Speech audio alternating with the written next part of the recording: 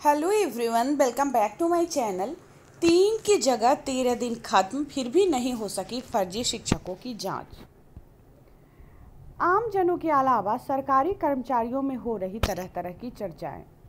इस्लामपुर प्रखंड में बिना नौकरी, परीक्षा व चुनाव ड्यूटी करने वाले तेरह शिक्षकों की जाँच को बनी टीम टाटा फ़िश साबित हो रही है। कमेटी बनाने वाले डीओ केशव प्रसासी ने तीन दिनों के भीतर रिपोर्ट सौंपने का आदेश दिया था, लेकिन तेरह दिनों से अधिक का समय बीत जाने के बाद भी नतीजा ढाक का तीन पात की तरह निकला।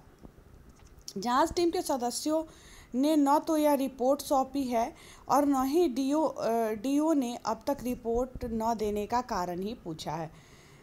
मामला साफ़ है, शायद सिक्के की खनक टीम के अधिकारियों के हाथ रोक दिए हो। हालाँकि शुरू से टीम के सदस्यों के काम की शुरुआत बहुत ही अच्छे तरीके से की थी। केवल इस्लामपुर ही नहीं, ज़िले भर में फर्जी शिक्षकों का पर्दाफाश करने का दावा कर रही थी। लेकिन अब पता नहीं कौन सा कारण है जो कि रिपोर्ट में इतनी देरी हो रही है अथवा देरी की जा रही है। अब तक जाँच रिपोर्ट नहीं आने से आम लोगों में बेचैनी फैल रही है। आमजनों के अलावा सरकारी कर्मियों के बीच तरह तरह की चर्चाएँ हो रही है। कोई टीम के सदस्यों पर सवाल उठा रहा है तो कोई फर्जीवाड़ा करने वालों की पहुँच पर।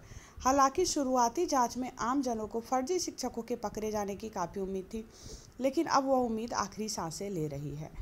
जाँच टीम ने किया था खुलासा। बिना नौकरी ड्यूटी करने के मामले में जाँच टीम ने बड़ा खुलासा किया था। कहा था कि इस्लामपुर ही नहीं, अन्य प्रखंडों में भी इस तरह के मामले मिल रहे हैं।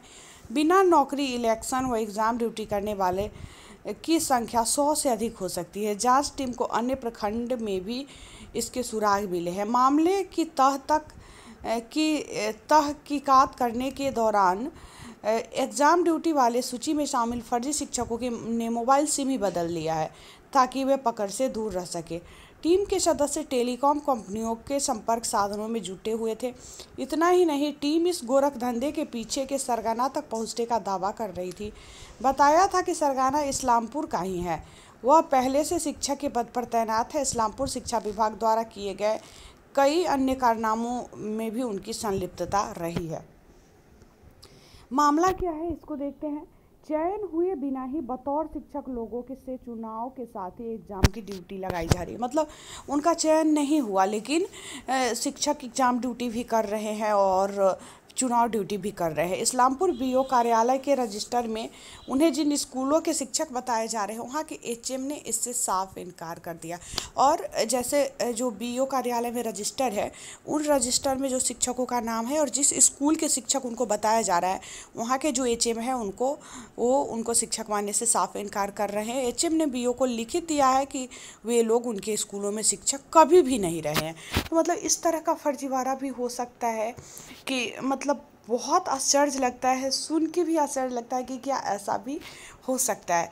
बिना नौकरी, इलेक्शन व एग्ज़ाम ड्यूटी करने के मामले की जाँच तीन सदस्यीय टीम कर रही है।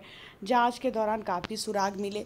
होली व सबे बारात की छुट्टी के कारण जाँच में थोड़ी सी देरी हुई है, लेकिन मामले की तह तक जाने का प्रयास जो है जारी है। दोषियों के विरुद्ध शीघ्र एफआईआर कराई जाएगी। केशव प्रसाद वहाँ के जिला शिक्षा पदाधिकारी है, उनका स्टेटमेंट है। तो चलिए फ़िलहाल इस वीडियो में इतना ही। मैं मिलूँगी फिर आप लोगों से नेक्स्ट वीडियो में। तब तक के लिए बाय